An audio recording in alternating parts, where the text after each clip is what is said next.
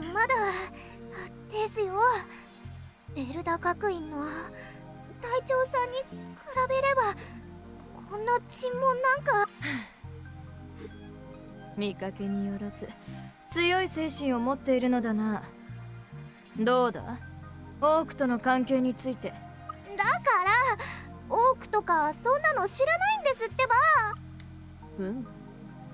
所詮は末端の兵士というわけか嘘の演技にもあっさり引っかかる間抜け多くがこの娘を騙しているとも考えられるか。あのなんかものすっごく失礼なこと言ってません？あんな大怪我してたら元救護部として見ていられませんよ。それを間抜けとかって。ラドリアさんって性格悪いんですね。ああ性格は悪い。ダークエルフってのはことないですよ。バレンさん口は悪いですが誠実に接してくれ。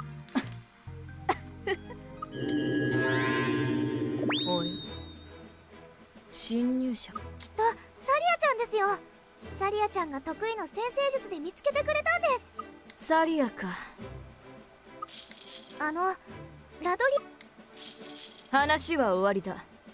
もう悠長にサリアが思い出すのを待っていられないいつ異界の門から奴らが出てくるかわからないからな。その前に清流の力であいつを仕留めてみせる。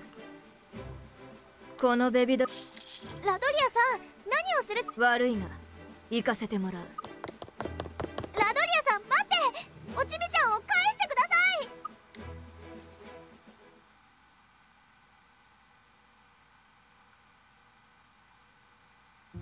い！清流？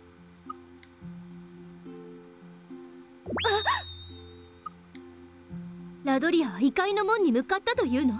チビを使って何をするつもりだ？そういえば予言予言って言ってたんですけど。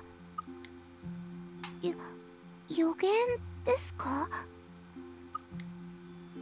それはきっと例の伝説のことですね。清流の加護を受けしエルフの英雄とその盟友の死。異界の門を開き沿岸のヘルヘイムに漆黒竜を封じる。ラドリアはあのベビドラが伝説の清流だと思っているようで。そう。